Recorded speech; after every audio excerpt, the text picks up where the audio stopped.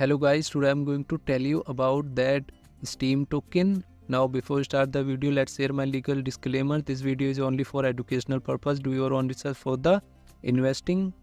Steem is a community focused blockchain that creates an instant earning opportunity for the network's users.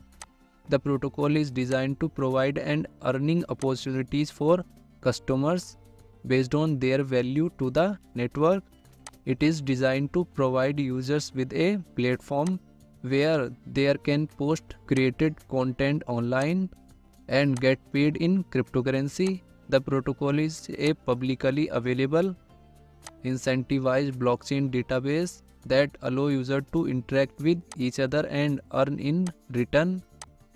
It leverages technology from both social media and cryptocurrency to provide user with value the network ensure the fair treatment of the contributors by running a reward structure that reflect each user's contributions.